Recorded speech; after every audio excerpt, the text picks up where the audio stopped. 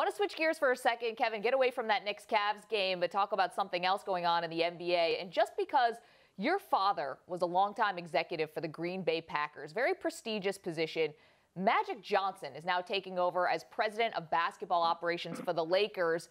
He's been getting some criticism from those who are skeptical that he's going to rise to the occasion just because you've seen what it takes to do that job well. What will be Magic's biggest obstacle in getting the Lakers back to relevance?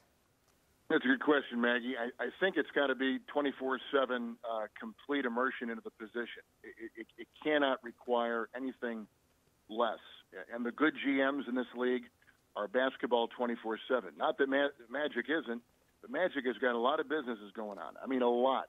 And that's how he has handled his post playing time, uh, you know, from, from a, a great Hall of Fame career in the league. Uh, can, can he push all these things aside? And concentrate solely on what it takes to make that Laker team better. They've already made one deal, and they, they sent Lou Williams to Houston. Um, uh, they probably had a chance for DeMarcus Cousins. I'm not sure how serious that was.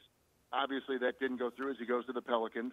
Um, that team needs, I, I think, everything that Magic can can offer, and I think he's got to surround himself with good people.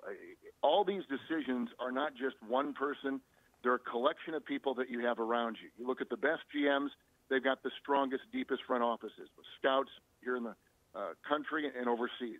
Uh, they've got people that are in the analytics side, but they've got many voices in that room that are offering opinion. And, and can Magic, who I'm certain can, you know, listen to these voices, process everything, because at the end of the day, he'll have to pull the trigger. But will he surround himself with all the people that maybe remained from Mitch Kupchak when he was there for such a long time as the GM? And can Magic give his full attention to this team? He loves the team, he loves the organization.